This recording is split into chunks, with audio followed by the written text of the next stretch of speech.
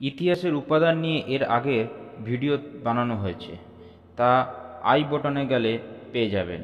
কিন্তু আধুনিক ইতিহাস চর্চার জন্য যে উপাদানগুলি প্রয়োজন তা নিয়ে আলোচনা করব। যেমন সরকারি নথিপত্র, আত্মজীবনী, বিভিন্ন চিঠিপত্র ও সংবাদপত্র। ভারতে সরকারি নথিপত্র সংরক্ষণের প্রথা প্রচলিত হয় মোগল আমলে। নথি সংরক্ষণ গৃহ মহাফেজখানা নামে পরিচিত। ইংরেজ শাসনকালে ব্রিটিশ পদ্ধতি অনুসারে নথি বা রেকর্ড সংরক্ষণের পদ্ধতি চালু হয়।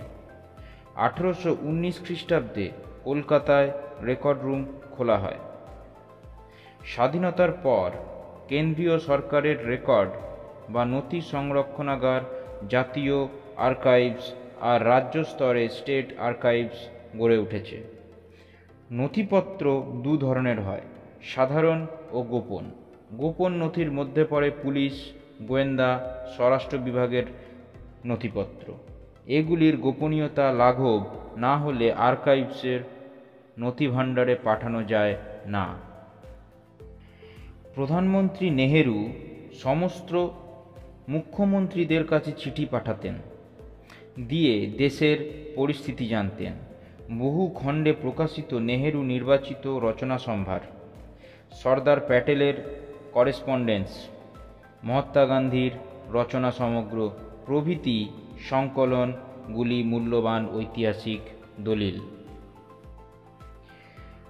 উনিশ শতকে বাংলায় দেবেন্দ্রনাথ ঠাকুর ও রাজনারায়ণ বসুর আত্মজীবনী ভারতের জাতীয় সংগ্রামের শীর্ষ নেতারা যেমন লালা লাজপত রায়, মহাত্মা গান্ধী, জওহরলাল নেহেরু, সুভাষচন্দ্র বসু, মৌলানা আজাদ প্রমুখের আত্মজীবনী থেকে মূল্যবান সূত্র চয়ন করা হয়।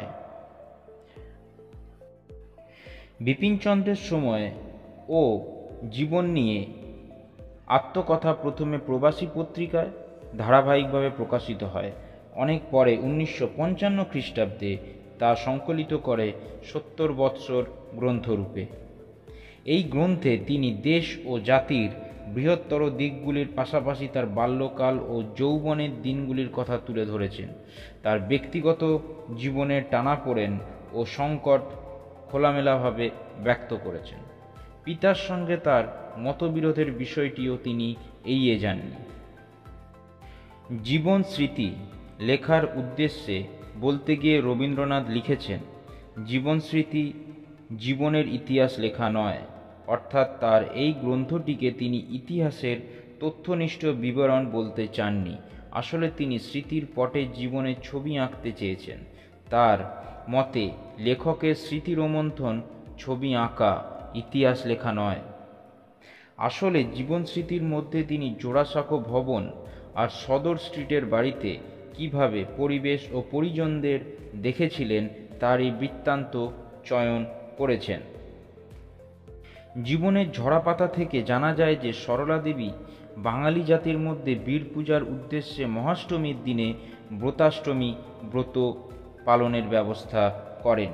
জীবনের ঝরাপাতায় স্বদেশী আন্দোলনের সময় বাংলার উদ্দীপনা, স্বদেশ চেতনা ধ্বনিত হয়েছে। তাছাড়া তিনি ছিলেন সেই সংগ্রামের অন্যতম স্তম্ভ। তাই তার স্মৃতিকথা বাংলার আলোড়নের এক জীবন্ত দলিল। বর্তমানে সামাজিক ইতিহাস চর্চায় বা আধুনিক ইতিহাস চর্চায় চিঠিপত্রের ভূমিকা খুবই গুরুত্বপূর্ণ।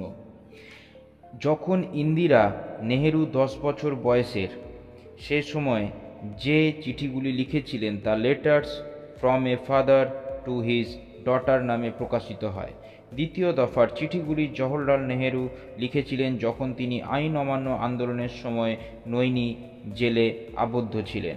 উনিশশো তিয়াত্তর খ্রিস্টাব্দে চিলড্রেন্স বুক ট্রাস্ট প্রথম পত্রগুচ্ছ পুনর্মুদ্রিত করেন।